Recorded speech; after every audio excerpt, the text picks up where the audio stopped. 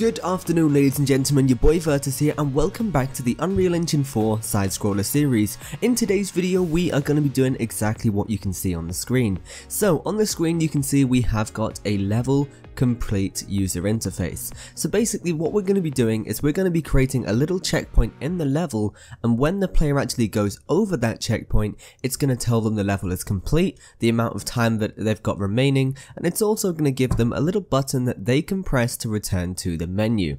Now it's really really simple and there's only one graphic that we actually need for this whole screen and that's going to be for the background here. Now if you guys have got the latest version of the heads up display stuff um, it's all going to be inside of there and it's also going to be inside of the folder as well. So I'm just going to go ahead and show you that and then we're going to go and import it into the engine. So just give me a second I'll grab that. So inside of the side scroller folder there should be an image called main BG overlay. That's what I've named it as and that's what we need to import. So let's go ahead and dive in and get started. So we're going to jump into the engine and we're going to go into our normal blueprints folder where we've got everything else already and we're just going to go ahead and import that file in. So there you are, main BG overlay and we're just going to go ahead and leave it like that. So we don't want to have it as a normal map, so just press revert if that comes up. And we actually need to create a widget for this to actually display it on the screen.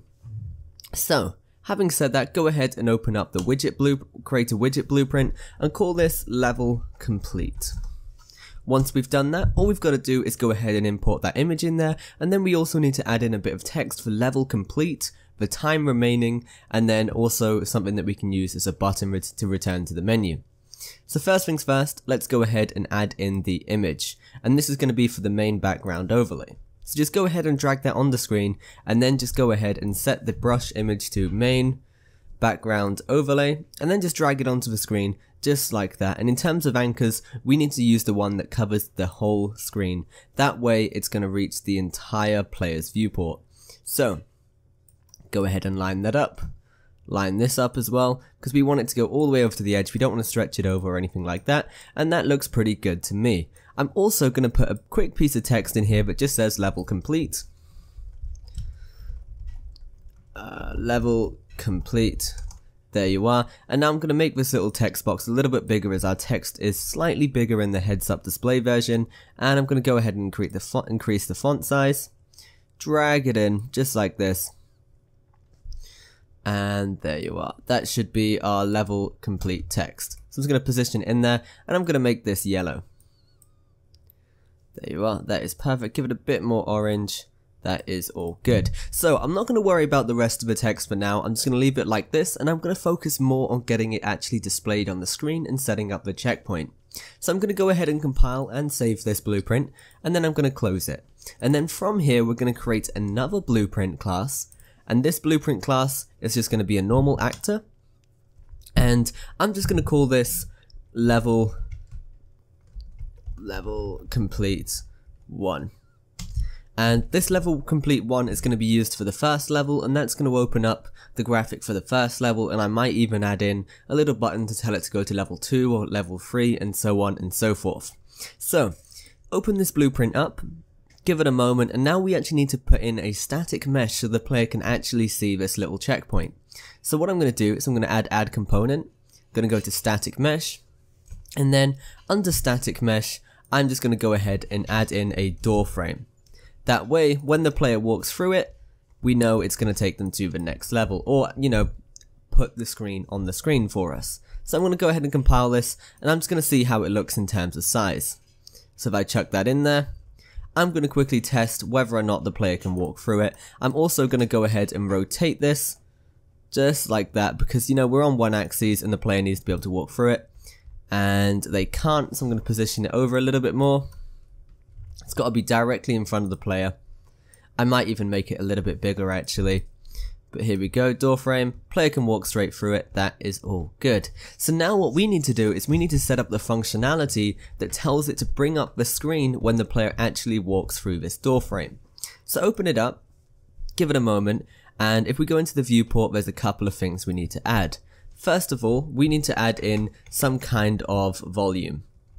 So the volume that we are going to use is a box collision volume and we're going to add it in here. Now, we don't want it to go all the way too wide. We just want it to be in sort of the center of the door. So I'm going to go ahead and stretch that. And then I'm also going to do that just a little bit and a little bit wider. And it's a bit too tall at the moment. So I'm just going to keep on adjusting this until it fills the door frame and only the door frame. So that is perfect. Cool, so the next thing that I'm going to do then is I'm going to go into my event graph and we're going to set up some simple script. So what I'm going to do is drag in the box and then what I'm going to do is on begin overlap and then once I've done that I can actually tell it to fire off some script when another actor begins to overlap with this. So the way I'm going to do this is I'm going to drag other actor and I'm just going to type in cast to side scroller character. So now what it's going to do is it's going to cast the side scroller character and when that side scroller character actually overlaps with this box we can tell it to do a little bit of script. So for example if I wanted to I could go ahead and just drag out a print string from this and then I could tell it to say level complete. So this is just more for testing really and we're going to be adding in the widget a little bit later. So press compile and then if we press play Hopefully now, if we walk through this little box collision, it should tell the player level complete. And there you are, and each time I do it, that is working great. So, let's go ahead and change that print string into a blueprint, getting it displayed on the screen and everything. So I'm going to get rid of the print string. Actually, no, I'm going to leave it there for now, just so we can see it's all working. And then I'm going to type in create widget. And then I'm also going to go ahead and add this to the viewport so the player can actually see it and under the widget class, I'm going to go ahead and use level complete. And I'm going to compile that, and then let's give this a go. So I press play, you can see the level complete widget now pops up on the screen. But you can see each time that I actually go over this, you can see it's getting brighter and brighter, it's creating another copy. We actually need to pause the game when we tell it to, you know, complete the level, and we're also going to add in a little, yeah, that's it. That's all we got to do. We just got to add in the little pause game thing so the player can, can't move anymore. So I'm going to go ahead and type in pause, set game paused, and then I'm just going to tell it to set that to paused, and that's great. So compile it, press play, walk through it, and the player stops, and we've got level complete, and that is looking really, really great. So we need to do a few more things now. We need to go ahead and open up the level complete widget blueprint and we need to add in the text for time remaining. And we also need to set up the anchor points as the text was a little bit all over the place as well. So I'm going to go ahead and do that. I'm just going to go ahead and set this level complete anchor to the full screen and hopefully it should be in the same position now. Nope. Or what I might do, I might just set this to the middle anchor point and do the same for this one as well and hopefully it should be good. There you are, level complete, looking good. Cool. So, next thing is next. Let's go ahead and do this. So what we need to do is we need to add in some text for time remaining. Go ahead and set the text to time remaining. And of course we're going to make this a little bit bigger. Not too big though because we want it to stand, we want the level complete bit to stand out a little bit more. Drag it into the center And then we also need to add in some more text in a second. So let me just change this, add the little semicolons on there.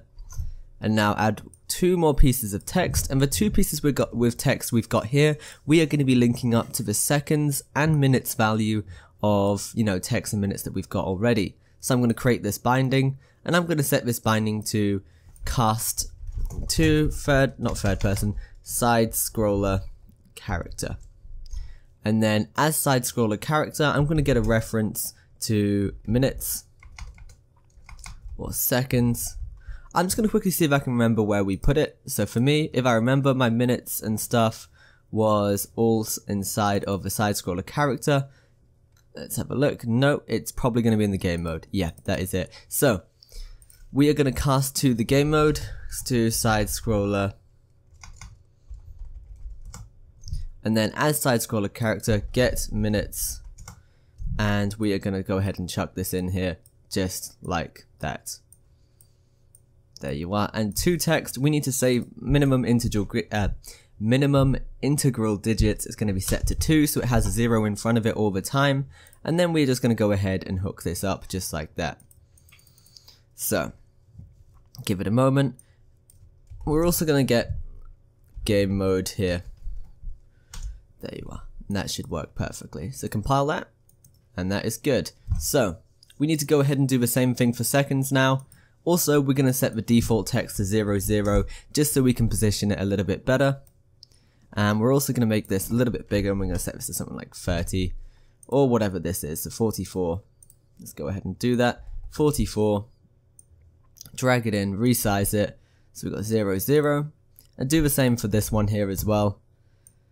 And this one is going to be default 0, 0.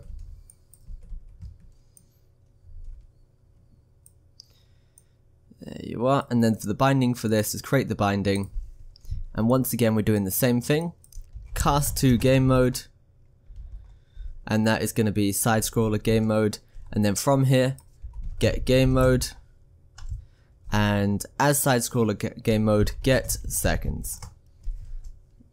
And then we're just going to hook it up just like that and that should be everything. So if I go ahead and compile this now, press play, and if we run through this, you can see it's got the stuff in there. It's just a little bit off position, so we need to go ahead and set the anchor points.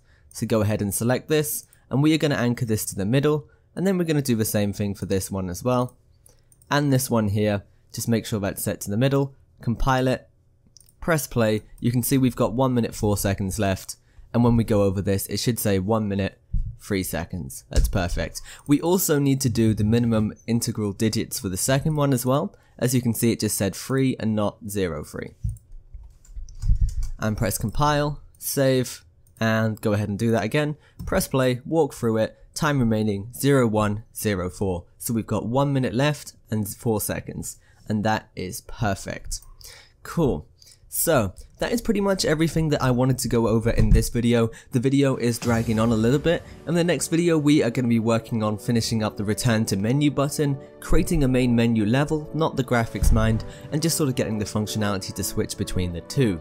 Anyway guys, thanks for watching, stay awesome, keep creating, your boy Virtus, signing out.